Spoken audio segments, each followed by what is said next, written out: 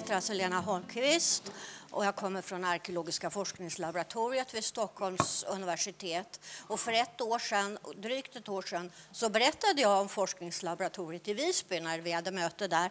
Men Kai tyckte att eftersom det var många som var nya idag så kunde jag göra det igen. Eh, vid forskningslaboratoriet så är jag då forskare och lärare och den här institutionen som består av flera olika delar, då är alltså det arkeologiska forskningslaboratoriet en del.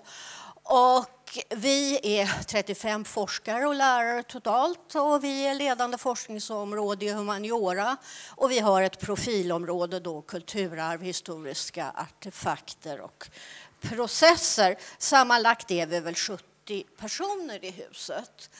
Och laboratoriet det skapades då eh, 1975 av professor Birgit Arrhenius och då trodde man att det skulle komma att följas av flera sådana här laboratorier, arkeologiska laboratorier. Men vi är det enda i vårt slag, i Nordeuropa kan vi väl säga.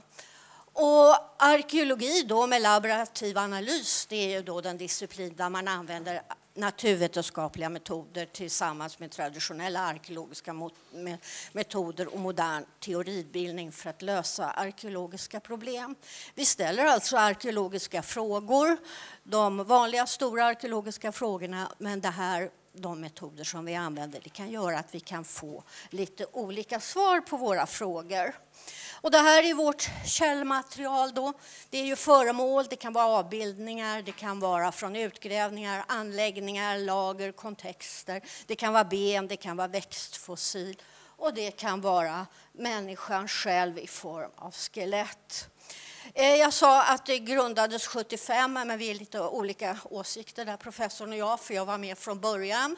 Eh, hon anser att det var 76, jag var den första studenten där och jag kommer även gå i pension på detta laboratorium om, ett litet tag.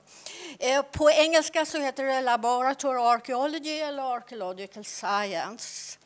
Och här lite kort om historiken med laborativa analyser. Från 1700-talet så känner man de första kemiska analyserna av arkeologiskt material. Eh, på slutet av 1800-talet kommer de första fysiska analyserna och helt eh, epokgörande för arkeologin det var ju eh, C14-metoden som kom 49 då. Och på 50-talet så är det många nya analystekniker och på 70-talet så ökas applikationerna, då, användningen av de här metoderna inom arkeologi. Och på 1985 då har min kollega bestämt att det var det år då analysen av organiskt material slår igenom. Eh, jag tänkte ge några exempel på det. Det kan vara prospektering till exempel innan man startar en utgrävning. En utgrävning är som ni vet jättedyr och eh, det här är från Sigtuna. Eh, och här är det georadar som används då. Och då kan man se hur det kan bli där. Jag tänker inte gå in på det här i detalj. Men det är alltså de här resultaten, att man kan komma fram till anläggningar. Eh, när man då studerar någonting innan man sätter igång och gräva. Man kan karaktärisera materialet utifrån ursprungsort, biologiskt ursprung, teknologin. Eh, man kan studera människan och levnadsförhållanden och klimat. Och ett exempel på ursprungsort, jag tänker inte gå in på de olika analysmetoderna, men flintyxor till exempel, det kan man då studera ursprunget och i vilken flintgruva materialet är hämtat ifrån. Man kan titta på det biologiska ursprunget då. Och det här är en pinne från Medelhavsmuseet som de var väldigt intresserade av den svarta substansen som finns på den. Och där kunde man då med att undersöka vilka vaxer och lipider som ingick det se att det här var den pinne som man hade rört om balsameringsvätska med. Eh, för mumifiering. Eh, ett annat område det kan vara huggteknik med hjälp av 3D-skanning. Och det tänker jag absolut inte tala så mycket om för det kommer Laila Kitzel Råfeldt som sitter här i huset, eller i rummet komma tillbaka till.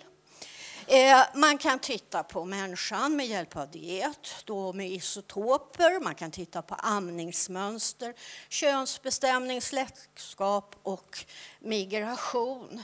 Det är sådana saker. Och man kan studera levnadsförhållanden och klimat. Och det här var bara några axplock av vad vi sysslar med. Och skulle någon be mig karaktärisera vad laborativ arkeologi är, är att vi studerar de långa kedjorna från ax till limpa. Men vi går också in i detalj och går ner på molekylnivå och tittar på isotoper och annat. Och det här är de metoder, jag tänker inte läsa upp dem, utan det är alltså eh, frågeställningarna som är det viktiga för oss och inte analysapparaturen, utan vi försöker då att skaffa ny beroende på vad vi arbetar i för forskningsprojekt och vi försöker då att kontinuerligt uppdatera vår utrustning. Där slutar jag. Tack.